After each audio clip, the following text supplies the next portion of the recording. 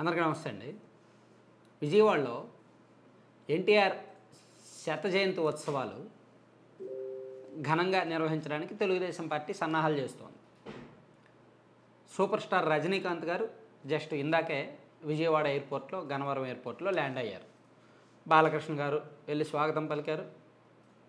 ఆ శత జయంతి ఉత్సవాల్లో చంద్రబాబు నాయుడు గారు బాలకృష్ణ గారితో పాటు రజనీకాంత్ గారు కూడా పాల్గొంటారు. ఆయనే స్పెషల్ అట్రాక్షన్ అక్కడ.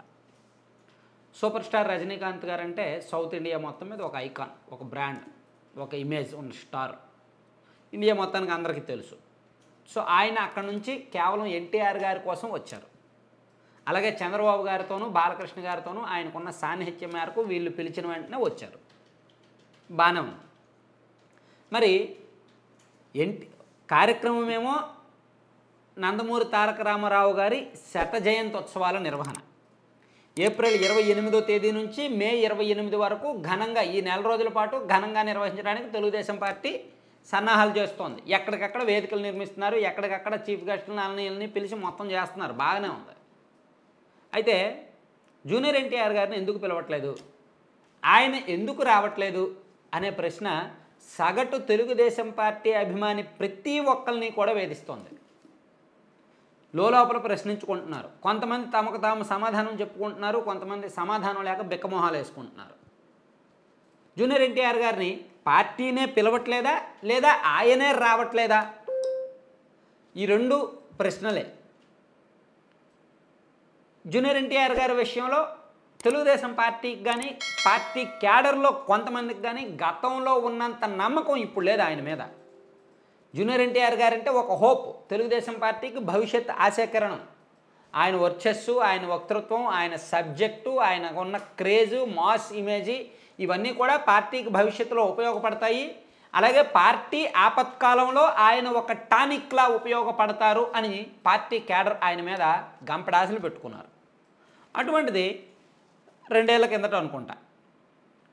నారా భువనేశ్వర్ గారికి సంబంధించి వైసీపీ ఎమ్మెల్యేలు చేసిన కామెంట్స్ మీద నందమూరు కుటుంబ సభ్యుడిగా తెలుగుదేశం పార్టీ పౌరుడిగా జూనియర్ ఎన్టీఆర్ గారి రెస్పాన్స్ టీడీపీ క్యాడర్ చాలామంది మనసులను గాయపరిచింది. ఆయన రెస్పాండ్ అయ్యారు కానీ కర్ర ఎరగకుండా పాము సావకుండా చాలా జాగ్రత్తగా సున్నితంగా రెస్పాండ్ అయ్యారు. అది ఎవరికి నచ్చల చాలామందికి నచ్చల.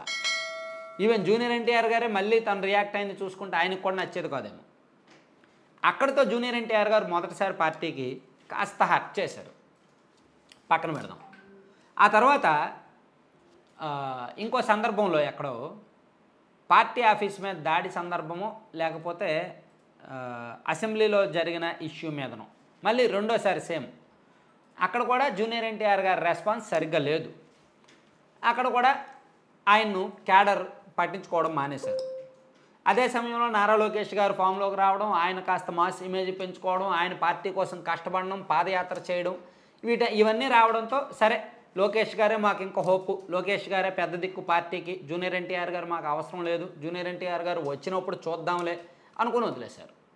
సో అలా జూనియర్ ఎన్టీఆర్ గారు స్పందించిన తీరు పార్టీ కార్యకర్తల్ని నాయకుల్ని గాయపరిచింది కాబట్టి ఎన్టీఆర్ గారిని పార్టీలో కొంతమంది పక్కన పెట్టుండొచ్చు కాక. ఇది టీడీపీ వైపు నుంచి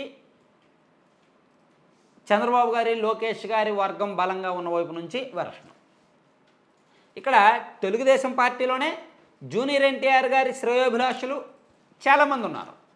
ఆయన ఫాలోవర్స్ చాలామంది ఉన్నారు. ఆయనను సమర్థించే వాళ్ళు చాలామంది ఉన్నారు. దానికి ఏంటంటే చంద్రబాబు గారు జూనియర్ ఎన్టీఆర్ గారిని వాడుకొని వదిలేశారు. ఆయన్ను పట్టించుకోలేదు ప్రాధాన్యత ఇవ్వలేదు అని వాళ్ళ వేదన వాళ్ళు వినిపిస్తారు. నిజానికి చంద్రబాబు గారు ఎక్కడ వాడుకొని వదిలేలా ఎన్టీఆర్ హరికృష్ణ గారికి రాజ్యసభ సభ్యత్వం ఇచ్చారు. పోలిట్ బ్యూరో మెంబర్ ఇచ్చారు. ఇలా అంటే ఎక్కడో చిన్నపాటి గ్యాప్స్ అయితే ఉన్నాయి. అది ఆ కుటుంబ సభ్య కుటుంబ పరంగా వచ్చిన గ్యాప్సా? లేకపోతే ఈగో ఫీలింగ్స్ వలన వచ్చిన గ్యాప్సా? అనేది వాళ్ళకే వాళ్ళకే తెలియాలి. ఆయన పుట్టినరోజుకి ఈయన విష్ చేయడు ఈయన పుట్టినరోజుకి ఆయన విష్ చేయడు. అది మనం చూసాం. సో ఇలా రెండు వైపులు కూడా చెడిపోయింది. ఎన్ని చెడిపోయినా వీళ్ళందరూ కూడా ఒకే తాను ముక్కలు. వీళ్ళందరినీ ఇప్పుడు ఇలా ఈ మాత్రమైనా చూస్తున్నామంటే దానికి కారణం పెద్ద ఆయన పెద్ద ఎన్టీఆర్ గారు. మరి ఆయన వారసులుగా వీళ్ళందరూ కలిసి ఆయన శత జయంతి ఉత్సవాలు ఎందుకు చేయరు అనేదే ఇప్పుడు ప్రశ్న. జూనియర్ ఎన్టీఆర్ గారు అయినా సరే రావడానికి సుముఖంగా ఉండాలి దానికి తగ్గ సంకేతాలు ఇవ్వాలి. వీళ్ళైనా సరే జూనియర్ ఎన్టీఆర్ గారిని ఆహ్వానించాలి. ఆయన దగ్గరకు ఒకటి ఒకటి కాకపోతే రెండు సార్లు అయినా వెళ్ళి పిలవాలి. ఎందుకంటే ఎన్టీఆర్ గారి గతంలో ఉన్న కంటే ఇప్పుడు క్రేజ్ పెరిగింది. ఎన్టీఆర్ గారికి పార్టీలోనూ అలాగే బలం బలగం ఉంది ప్రజల్లో కూడా క్రేజ్ పెరిగింది కొంత మాస్ ఇమేజ్ బిల్డప్ అయింది జాతీయ స్థాయిలో కూడా పేరు ప్రఖ్యాతులు వచ్చాయి. కాబట్టి ఆయన ఒకటికి రెండు సార్లు పార్టీ వెళ్ళి పిలవడంలో తప్పే లేదు. చంద్రబాబు గారి తరపున కొంతమంది వెళ్ళి ఆహ్వానించడంలో తప్పే లేదు. మరి వీళ్ళు పిలిచారా? పిలిచినా ఆయన రావట్లేదా? లేదా అసలు పిలవడమే మానేశారా? అనేది ఆ రెండు కుటుంబాలకు మాత్రమే తెలియాలి. Thank you